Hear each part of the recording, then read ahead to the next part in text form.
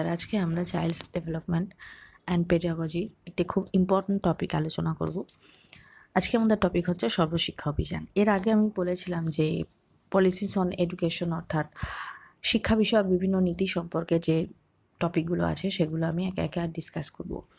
Normally এই যে chapter বা এই যে টপিক আছে, এখান থেকে বেশি যেটা ইম্পর্টেন্ট সেটা হচ্ছে এনসিএফ টু থাউজেন্ড ফাইভ আর RT E two thousand nine এই দুটো টপিক থেকে বেশি বেশি কোয়েশ্চেন প্রতি বছরই কিন্তু সি টেট হোক বা রাজ্য টেট হোক, সমস্ত কেভিএস এনবিএস অর্থাৎ প্রত্যেক পরীক্ষায় কিন্তু এখান থেকে বেশি কোয়েশ্চেন আসে। কিন্তু রিসেন্টলি দেখা যাচ্ছে এইগুলো ছাড়াও আরও যেগুলো আছে, যেমন আজকে যেটা করাচ্ছি, সর্বশিক্ষা অভিযান।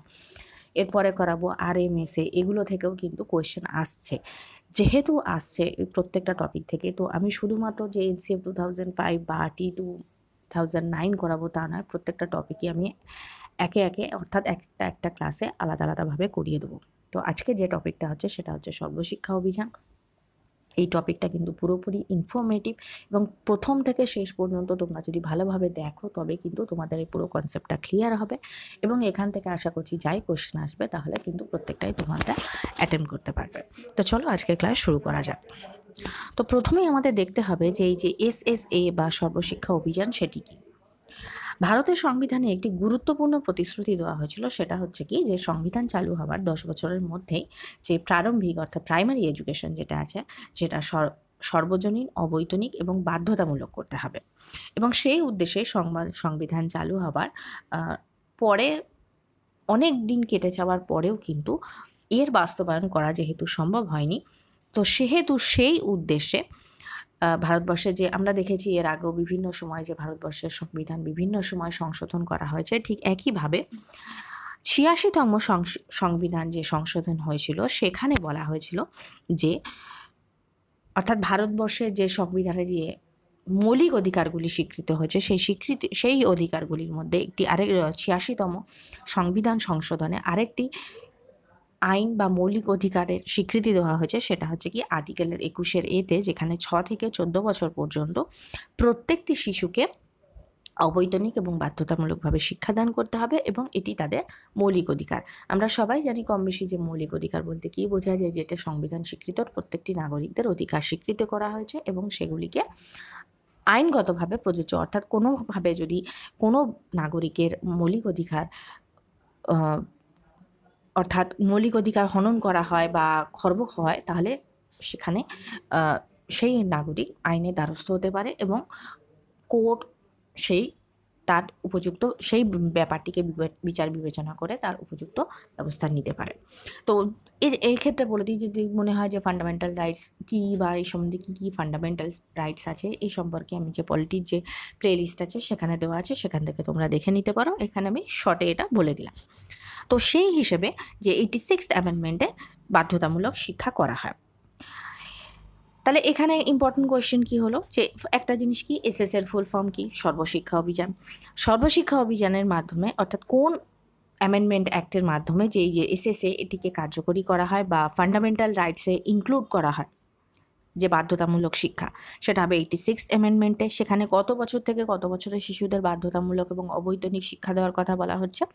সেটা হচ্ছে ছ থেকে চোদ্দ বছর পর্যন্ত। এবার যদি আসে ফান্ডামেন্টাল রাইটসের অর্থাৎ সংবিধানের, যে মৌলিক অধিকারের মধ্যে সংবিধানের কোথায় বা কত নম্বর আর্টিকেলে রয়েছে, তাহলে হচ্ছে আর্টিকেল টোয়েন্টি ওয়ানের এই।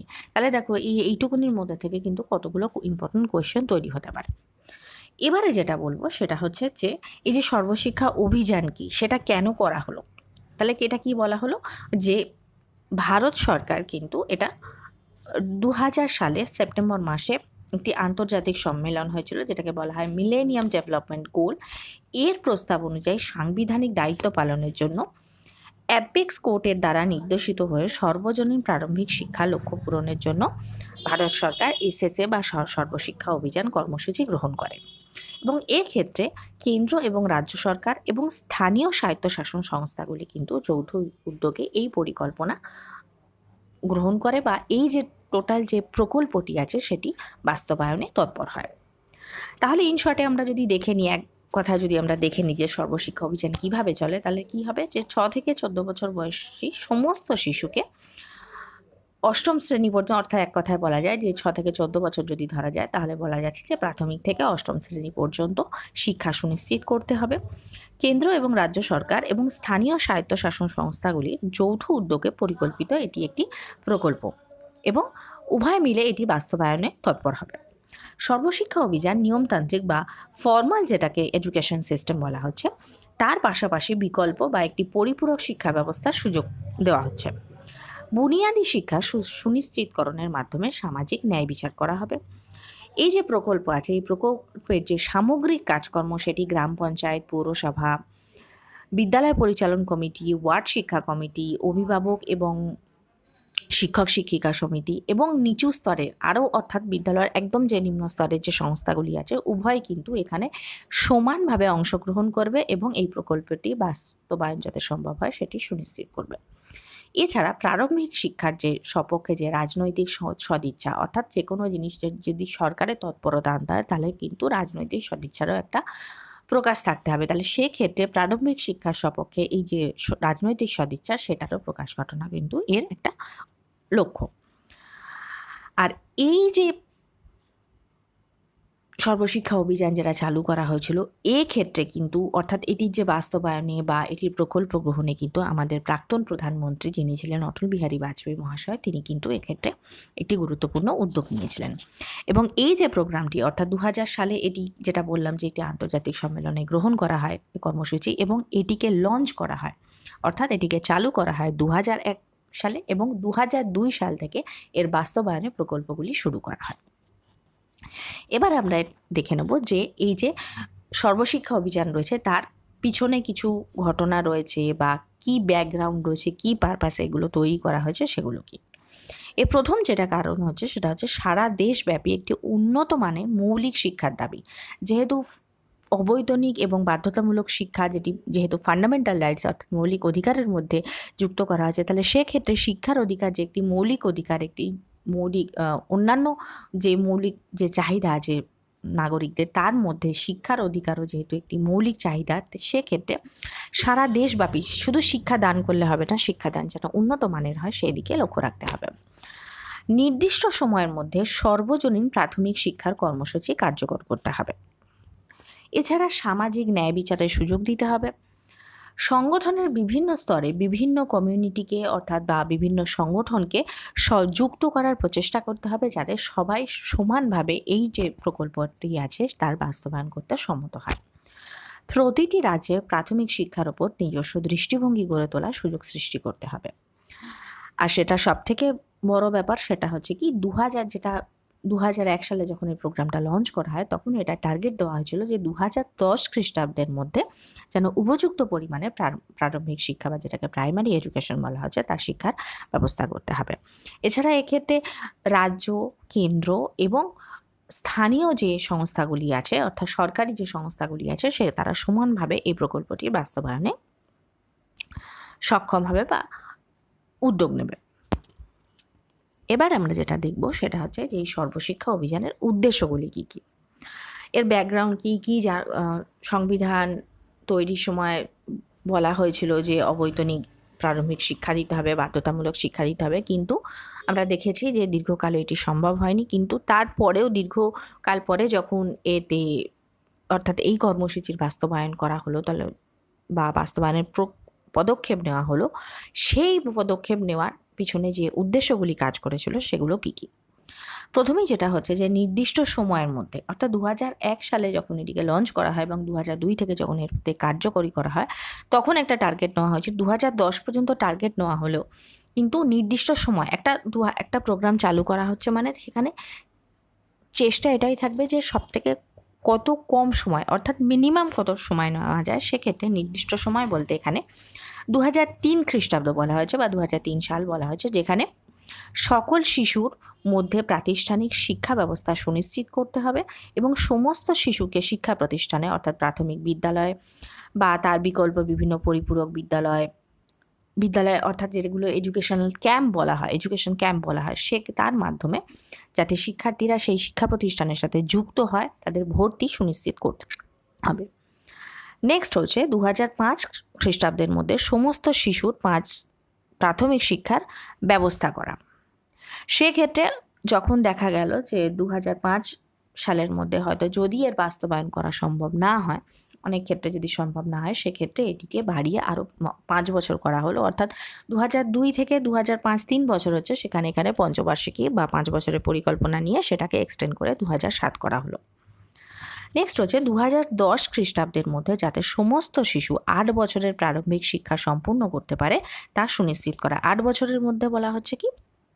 যেটাকে এলিমেন্টারি এডুকেশন বলা হচ্ছে, সেটা হচ্ছে কি ছয় থেকে চোদ্দ যেটা আট বছরের কোর্স সেটাকে বলা হচ্ছে। জীবনের উপযোগী সমস্ত এবং সন্তোষজনক শিক্ষার মানের উপরে গুরুত্ব আরোপ করা। অর্থাৎ শুধু যে শিক্ষা দিতে হবে তা নয়, শিক্ষার মানও যাতে যথেষ্ট উন্নয়নমূলক হয়। যেখানে শিক্ষার্থীরা একজন ভবিষ্যতের আদর্শ নাগরিক হয়ে উঠতে পারে সেদিকে গুরুত্ব আরোপ করা। নেক্সট কি, প্রাথমিক এবং প্রারম্ভিক শিক্ষা স্তরে লিঙ্গ ও সামাজিক শ্রেণির মধ্যে যে বৈষম্য আছে, তা কিন্তু যথা দূর করা এবং সেক্ষেত্রে টার্গেট নেওয়া হলো দু হাজার ছয়, সাত এবং দু হাজার দশ খ্রিস্টাব্দের মধ্যে দূর করা। অর্থাৎ প্রথমে যে দেওয়া হলো টার্গেট দেওয়া হয়েছিল সেটা দু ছয় এবং সাত অর্থাৎ দু হাজার ছয় সাত সেশনে এবং সেটাকে পরে এক্সটেন্ড করে দু দশ করা হয়। এক্ষেত্রে একটা জিনিস বলে রাখি যে পশ্চিমবঙ্গের ক্ষেত্রে উনিশশো ছিয়ানব্বই খ্রিস্টাব্দে কিন্তু এই সর্বশিক্ষা অভিযানের সঙ্গে কিন্তু আরও দুটো কর্মসূচি যুক্ত করা হয়েছে যেগুলোকে পরবর্তীকালে অর্থাৎ সর্বশিক্ষা অভিযানের আগে এটিকে করা হলো, এগুলো কিন্তু পরবর্তীকালে সর্বশিক্ষা অভিযানের সঙ্গে যুক্ত করা হয়েছে। সেটা হচ্ছে একটা হচ্ছে ডিপিইপি, যার ফুল ফর্ম হচ্ছে ডিস্ট্রিক্ট প্রাইমারি এডুকেশন প্রোগ্রাম এবং যেটাকে বলা হচ্ছে আনন্দ এবং আর একটা হচ্ছে আনন্দপাঠ প্রথম দিকে এই কর্মসূচিগুলো পাঁচটি প্রথমত জেলায় নির্বাচন করা সরি জেলায় চালু করা হয়েছিল এবং এর প্রধান শর্ত ছিল মহিলাদের স্বল্প সাক্ষরতা। অর্থাৎ যে সাক্ষরতা মিশন শুরু, সর্বশিক্ষা মিশনের আগে, যে সাক্ষরতা মিশন যেখানে স্পেশালি ছিল যে মহিলাদের এবং কিছু কিছু ক্ষেত্রে বার্ধক্য অর্থাৎ বৃদ্ধদের যারা শিক্ষা দিতে হবে, সেক্ষেত্রে কিন্তু এই ডিস্ট্রিক্ট প্রাইমারি এডুকেশন প্রোগ্রাম চালু করা হয়। তাহলে সেক্ষেত্রে আর একটা কথা বলে রাখি স্পেশালি যারা প্রাইমারি জন্য প্রিপারেশান নিচ্ছ, সেক্ষেত্রে কিন্তু প্রাইমারির ক্ষেত্রে এই ডিপিএপির ফুল ফর্ম কি, এটা কিন্তু আসে। সেক্ষেত্রে আমি আবার বলে দিচ্ছি যে ডিস্ট্রিক্ট প্রাইমারি এডুকেশন প্রোগ্রাম যেটা কিন্তু সাক্ষরতা অভিযান যেটা ছিল সেক্ষেত্রে স্পেশালি যেটা মহিলাদের সাক্ষরতা অভিযানের ক্ষেত্রে কিন্তু এটা করা হয়েছিল এবং পরবর্তীকালে যখন সর্বশিক্ষা অভিযান চালু হয়, তার সঙ্গে এটাকে যুক্ত করে দেওয়া হয় এবং এটা শুধুমাত্র পশ্চিমবঙ্গের ক্ষেত্রে। ঠিক আছে? নেক্সট হচ্ছে কি দু হাজার দশ খ্রিস্টাব্দের মধ্যে সমস্ত শিশুকে বিদ্যালয়ে ধরে রাখা বা যেটাকে আমরা এক কথায় ইংলিশে বলে থাকি ইউনিভার্সাল রিটেনশন অর্থাৎ প্রত্যেক শিশু যাতে বিদ্যালয়ে শুধু ভর্তি হলে হবে না, বিদ্যালয়ে তারা ভর্তি হবে, তারা বিদ্যালয়ে নিয়মিত আসবে, তারা পড়াশোনা শিখবে, অর্থাৎ তারা যা, তাদের এক কথায় স্কুল ছুট যেটাকে বলা হয় সেটাকে দূরীকরণ করে বিদ্যালয়ে তাদের ধরে রাখা এই টার্গেট কিন্তু দু হাজার দশ পর্যন্ত দু হাজার দশের মধ্যে কিন্তু নেওয়া হয়েছে। এই যে সর্বশিক্ষা অভিযান, এখানে শিক্ষক, শিক্ষিকা, শিক্ষাকর্মী এবং সমাজের প্রত্যেকটি নাগরিকের কাছে দেশের সংবিধানের প্রতিশ্রুতিকে, অর্থাৎ যেটাকে বলা হচ্ছে যে সার্বজনীন প্রারম্ভিক শিক্ষা, সেটাকে বাস্তবায়িত করার একটি সুযোগ এনে দিয়েছে। এবং এর থেকে আশা করা, এই আশাতেই এই প্রকল্পটি শুরু করা হয়েছিল যাতে শিক্ষক, শিক্ষিকারা জনগণের সহযোগিতা নিয়ে এই সুযোগে সদ্ব্যবহার করবেন এবং দ্রুততার সঙ্গে এই শিক্ষার কর্মসূচিকে এগিয়ে নিয়ে যাবেন। এবার আমরা যেটা দেখব সেটা হচ্ছে এর যে অ্যাক্টিভিটিসগুলো আছে, অর্থাৎ কীভাবে এগুলো বাস্তবায়ন করা যাবে। তা সেক্ষেত্রে প্রথমেই যেটা আছে সেটা হচ্ছে অ্যাক্সেস অর্থাৎ কীভাবে যে একটা পরিকাঠামো তৈরি করা যাবে এবং তার দ্বারা কীভাবে এই সর্বশিক্ষা অভিযানকে, অর্থাৎ যেহেতু এখানে বলা হচ্ছে কেন্দ্র সরকার, রাজ্য সরকার এবং স্থানীয় বিভিন্ন সরকারি সংগঠনের সহায়তায় এগুলো করা হবে, তাহলে সেক্ষেত্রে উভয়ের মিলে, অর্থাৎ সবকটি সংগঠন মিলে কীভাবে কাজ করবে, তাদের মধ্যে কোন কোন ক্ষেত্রে কী কী বিভাগ নেওয়া হবে, কার ক্ষেত্রে কোন বিভাগ কোন ক্ষেত্রে থাকবে, কাদের ক্ষেত্রে কোন দায়িত্ব থাকবে, কর্তব্য থাকবে, এইভাবে একটা সুন্দর সুষ্ঠু প্ল্যানিংয়ের বা পরিকল্পনার মাধ্যমে কীভাবে এই সমগ্র কর্মসূচিকে এগিয়ে নিয়ে যাওয়া হবে সেটাকে এখানে বলা হচ্ছে। নেক্সট হচ্ছে এনরোলমেন্ট অর্থাৎ এই ক্ষেত্রে যেটা বলা হয়েছে সেটা হচ্ছে ছ থেকে চোদ্দ বছরের মধ্যে সমস্ত শিশুকে, অর্থাৎ ছেলে মেয়ে সমস্ত নির্বিশেষে সমস্ত শিশুকে শিক্ষার পরিবেশে বা শিক্ষার আঙিনায় নিয়ে আসতে হবে, অর্থাৎ শিক্ষা কেন্দ্রে নিয়ে আসতে হবে সেটাই কিন্তু বলা হচ্ছে সেক্ষেত্রে কি করতে হবে যে বেশিরভাগ ছেলে মেয়েদের জন্য একটা পর্ষদ স্বীকৃত বিদ্যালয় স্থাপন করতে হবে মাধ্যমিক শিক্ষাকেন্দ্র মুক্ত বিদ্যালয় যেটাকে ওপেন স্কুল বলা হয়। বেসরকারি বিদ্যালয়ের ব্যবস্থা করতে হবে। এছাড়া মাঝপথে যাতে তারা পড়াশোনা ছেড়ে না দেয় বা দ, বিদ্যা, অনেক ক্ষেত্রে কি হয়, অনেক শিশুরা মাঝখানে পড়তে পড়তে পড়াশোনা ছেড়ে দেয়। শিক্ষার সুযোগের অভাবে যে কোনো পজিশানে হোক ছেড়ে দিল এবং পরবর্তীকালে তারা সেখানে ফিরতে চাইছে। তো সেক্ষেত্রে একটা ব্রিজ কোর্সের তৈরি করা, এগুলো কিন্তু তৈরি করলে তবেই কিন্তু এই সর্বশিক্ষা অভিযানের যে প্রকল্প রয়েছে তার বাস্তবায়ন সম্ভব হবে। নেক্সট কি? নেক্সট যেটা বলা হচ্ছে সেটা হচ্ছে রিটেনশন অর্থাৎ ভর্তি হওয়া শিক্ষার্থীদের বিদ্যালয়ে ধরে রাখতে হবে। সেক্ষেত্রে প্রত্যেকটি শিশুর বসার জন্য উপযুক্ত ব্যবস্থা করা, শিক্ষার গুণগত মান সুনিশ্চিত করা শিক্ষক, শিক্ষিকা এবং অভিভাবকদের মধ্যে নিয়মিত মিটিংয়ের অর্থাৎ যেটাকে পেরেন্ট টিচার মিটিং বলা হয়, তার আয়োজন করা, বিদ্যালয়ে উপযুক্ত পানীয় জল এবং শৌচাগারের ব্যবস্থা করা, শিক্ষার উপযুক্ত সামাজিক পরিবেশ গড়ে তোলা, পড়াশোনার সাথে সাথে এক্সট্রা কারিকুলাম যে অ্যাক্টিভিটিস আছে, তার মধ্যে খেলাধুলা, সাংস্কৃতিক অনুষ্ঠান, অন্যান্য বিভিন্ন স্টুডেন্টদের আগ্রহ অনুযায়ী বিভিন্ন কার্যকলাপ করার অর্থাৎ বিভিন্ন প্রকল্প প্রজেক্ট ওয়ার্ক করানো, এই ধরনের এবং স্কুল ছুট সর্বশিক্ষা অভিযানের ক্ষেত্রে যেটা আমি বারবারই বলছি স্কুল ছুট অর্থাৎ যেটাকে আমরা ড্রপ আউট বলে থাকি, সেখানে কিন্তু সেই স্টুডেন্টদের মূল স্রোতে ফিরিয়ে আনা। নেক্সট হচ্ছে quality improvement in classroom teaching বা যেটাকে আমরা যদি বলি মেনটেনিং কোয়ালিটিও বলা যায়, সেক্ষেত্রে ছাত্রছাত্রীদের শিক্ষার গুণগত মান সুনিশ্চিত করতে হবে। নতুন নতুন উদ্ভাবনীমূলক বিজ্ঞানসম্মত শিক্ষা, বিভিন্ন নতুন শিক্ষণ পদ্ধতির ব্যবহার শিখন প্রদীপনের ব্যবহার, অর্থাৎ যেগুলো আমরা এর আগে করেছি যে টিচিং স্ট্র্যাটেজিস টিচিং মেথডস তারপরে টিএলএম এগুলোর দ্বারা, এগুলো ইউজ দ্বারা কীভাবে শিক্ষার্থীদের আগ্রহ বৃদ্ধি করা যায়, তাদের স্কুল বিদ্যালয়ের পরিবেশের মধ্যে আটকে রাখা যায় এবং তার সাথে সাথে শিক্ষার গুণগত মান কীভাবে বৃদ্ধি করা যায় সেটা দেখতে হবে। এছাড়া সময় মতো শিক্ষা উপকরণ সরবরাহ করতে হবে, বিদ্যালয়ে শিক্ষার উপযুক্ত অভ্যন্তরীণ এবং পারিপার্শ্বিক পরিবেশ সৃষ্টি করতে হবে, শুধু সৃষ্টি করলে হবে না, সেটাকে বজায় রাখতে হবে অর্থাৎ ধরে রাখতে হবে। শিক্ষার চলাকালীন শিক্ষার্থীদের উপস্থিতির হার নির্ণয় করা, অর্থাৎ শিক্ষার্থীরা নিয়মিত আসছে না, তারা অনিয়মিত অনিয়মিত হয়ে যাচ্ছে। সেক্ষেত্রে তাদের অনুপস্থিতির কারণ কি? সেগুলোর দিকেও কিন্তু শিক্ষক বা শিক্ষিকাদের লক্ষ্য রাখতে হবে।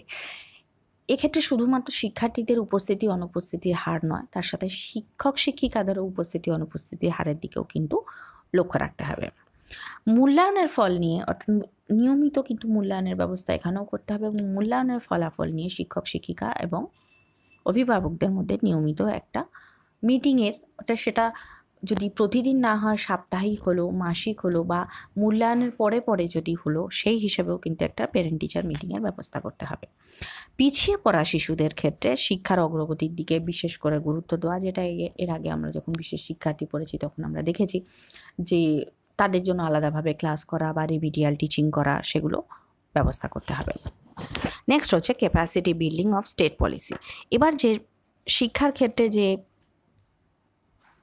কেন্দ্র, রাজ্য, বিভিন্ন ক্ষেত্রে যে বিভিন্ন প্রতিষ্ঠানগুলো যে ক্ষেত্রে কাজ করবে সেক্ষেত্রে যে বিভিন্ন ধরনের পলিসি নিতে হবে সেগুলো কিন্তু ব্যবহার করা। যেমন সেক্ষেত্রে অনেক সময় কি কিছু কিছু ছোট ছোট উদ্যোগ নেওয়া হয়েছে, যেমন প্রারম্ভিক শিক্ষার সঙ্গে সঙ্গে যুক্ত যেসব শিক্ষার্থী আছে, তাদের মাথা মাথা পিছু পাঁচশো টাকার শিক্ষা উপকরণ তৈরি করার জন্য কিছু অনুদান দেওয়া সময় সময় কিছু কিছু অনুদান বিদ্যালয়ে দেওয়া, শিক্ষার্থীদের স্টাইফেনের, অর্থাৎ ভালো রেজাল্টের হিসেবে স্টাইফেনের ব্যবস্থা করা, দুস্থ ছাত্রছাত্রীদের জন্য বুক ব্যাংক গড়ে তোলা বিদ্যালয় সর্বশিক্ষা অভিযানের লক্ষ্য, উদ্দেশ্য পরিচালনা পূরণের জন্য অতিরিক্ত ছাত্রছাত্রী ভর্তির পর পরিকাঠামো উন্নয়নের জন্য বিভিন্ন অনুদান করা। সরকারি বিভিন্ন খাতে সরকারি ক্ষেত্রে, বিশেষ করে সরকারি, বেসরকারি, উভয় ক্ষেত্রে যদি এই ধরনের অনুদান বাড়ানো যায়, এই কর্মসূচিগুলো কিন্তু এখানে বলা হয়েছে। এরপরে আমরা যেটা দেখব সেটা হচ্ছে এই যে সর্বশিক্ষা অভিযানকে বাস্তবায়নের জন্য কর্মসূচিগুলো তো আমরা দেখলাম। কিন্তু সেগুলোকে বাস্তবায়ন কি করে করতে হবে, সেক্ষেত্রে কী স্ট্র্যাটেজিস নিতে হবে সেগুলো আমরা দেখব। সেগুলো কি? প্রথমেই যেটা দেখব সেটা হচ্ছে কি, প্রাথমিক ও উচ্চ প্রাথমিক বিভিন্ন বিদ্যালয়ের পরিকাঠামো বৃদ্ধি করতে হবে। নেক্সট স্থানীয়ভাবে প্রাতিষ্ঠানিক বিদ্যালয়ের পাশাপাশি বিকল্প বিদ্যালয় বা পরিপূরক বিদ্যালয় প্রতিষ্ঠান করতে হবে। বালিকাদের শিক্ষাদের প্রতি কিন্তু বিশেষভাবে গুরুত্ব আরোপ করতে হবে।